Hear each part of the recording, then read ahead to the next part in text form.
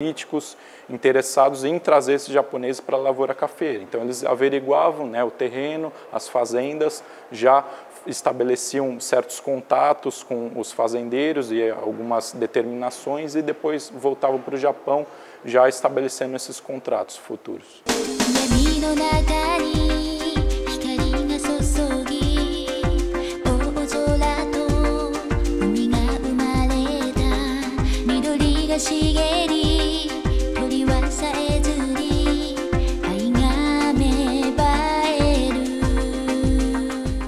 Intercâmbio, os diplomatas chegavam né, aqui, é, japoneses, políticos japoneses, com interesse na lavoura do café, em troca já estabelecer esse comércio do, do chá com café, né, com isso foi...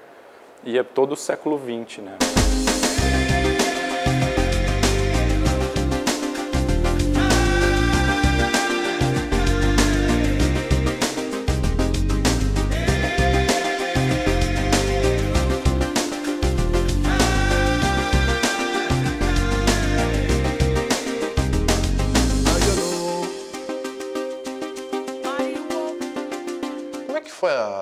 Adaptação do povo japonês aqui no nosso país? Foi muito complicado? Como é que se deu, né? A, a diferença da cultura entre esses dois países? É, principalmente a língua, né? Que quando chegaram muitos não falavam português, a alimentação era muito diferente. Quando chegaram, pelo que nós lemos, eles receberam linguiça e bacalhau. Só que não explicavam como se fazia o bacalhau então, muitos assavam bacalhau e a linguiça, são alimentos muito fortes para a cultura né, é, gastronômica japonesa. Até hoje é difícil você ver. Eu acho que o brasileiro se adaptou muito mais à alimentação japonesa do que o japonês à brasileira. Né?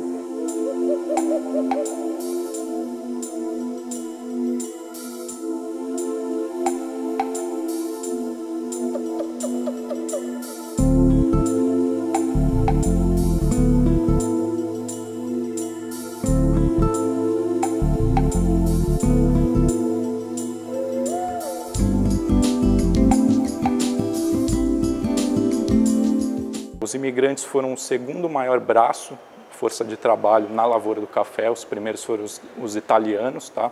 e os japoneses em segundo. Então, para a gente ter essa noção da importância da imigração japonesa para a lavoura do café no Brasil.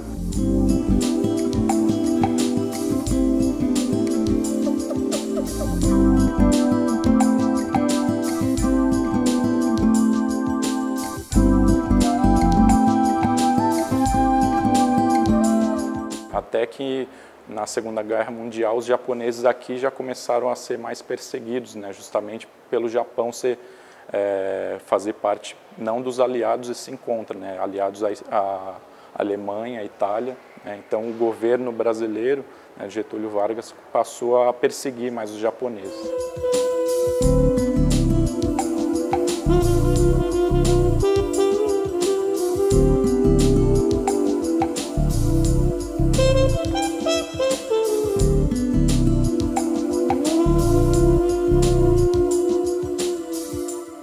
Durante a Segunda Guerra Mundial, a imigração japonesa foi proibida.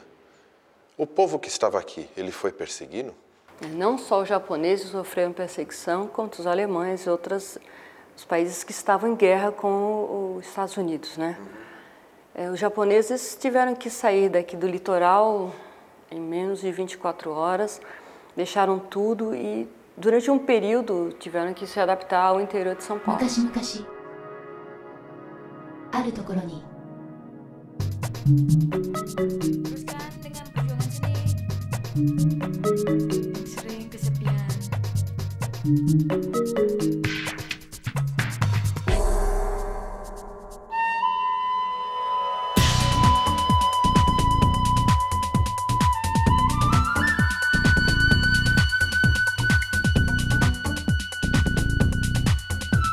Mais ou menos até então esse período da Segunda Guerra, né, onde já o governo do Vargas começou a deportar, perseguir essas pessoas e começar a deportar, né, mandar de volta para o Japão, né, justamente por eles serem de origem japonesa e estarem, né, a partir participando da Segunda Guerra Mundial contra o Brasil, né, contra os Estados Unidos, o Brasil, Inglaterra.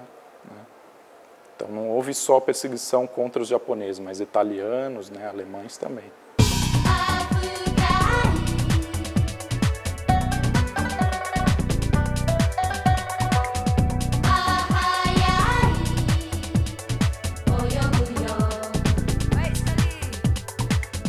Com o passar dos anos, a cultura japonesa entre os imigrantes, ela foi se perdendo? Qual é a sua opinião?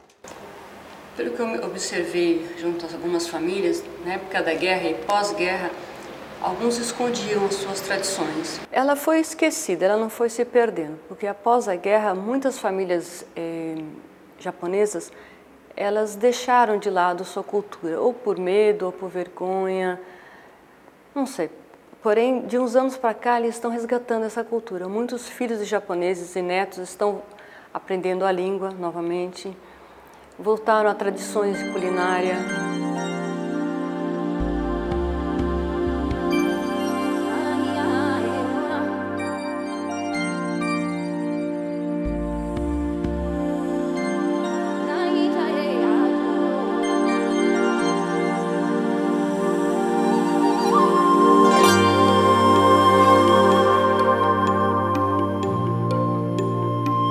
Hoje em dia, o Japão faz um, um processo de industrialização do café bastante avançado.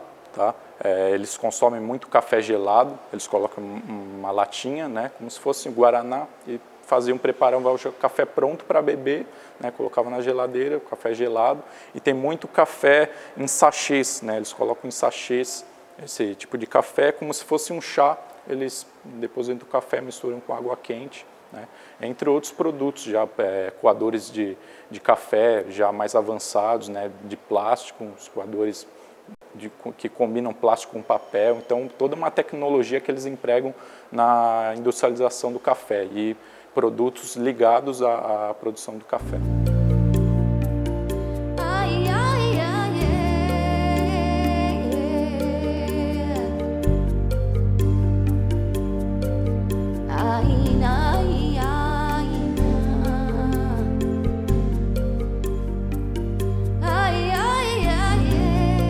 Tem ideia mais ou menos de quantos japoneses vivem hoje no Brasil? São Paulo hoje é a maior colônia fora do Japão de japoneses no mundo. A Liberdade, toda aquela região, nossa, parece que quem já conhece o Japão diz que lembra bastante. Está sendo feito um censo sobre os imigrantes que moram atualmente no Brasil, feito pelo governo federal. Hoje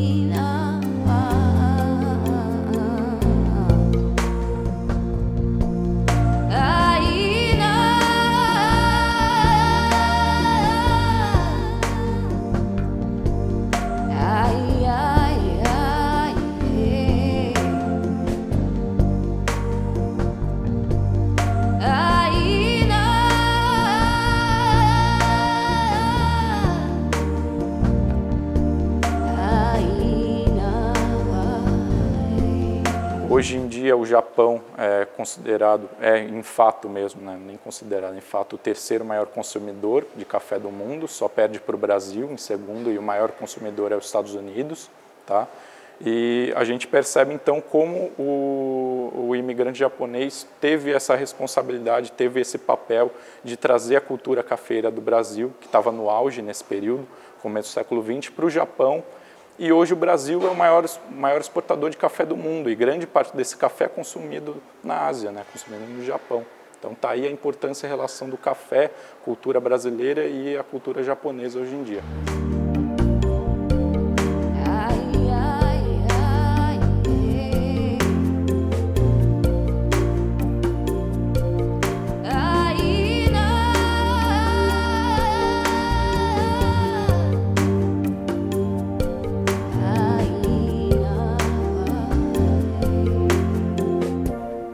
Conhecer essa exposição, como é que faz para poder visitar aqui? Se for grupo, pode agendar pelo 3219-5585. E no, o museu fica aberto de terça a sábado, das 9 às 17 e domingo das 10 às 17. As pessoas que têm visitado têm gostado bastante e têm bastante informação, porque nós tratamos do processo da vinda, a chegada no Porto de Santos, a ida às fazendas, um pouco das fazendas. O que, que a indústria japonesa investiu hoje nos valores, no valor agregado ao café? Em café em lata, em suco, em blend, diferentes blends, é, embalagens para presentes, bem diversificado. Existe até uma certa substituição pelo chá deles. Dizem que o, o Japão hoje consome mais café do que chá. E o Japão, em 2006, foi um dos maiores compradores de café do Brasil.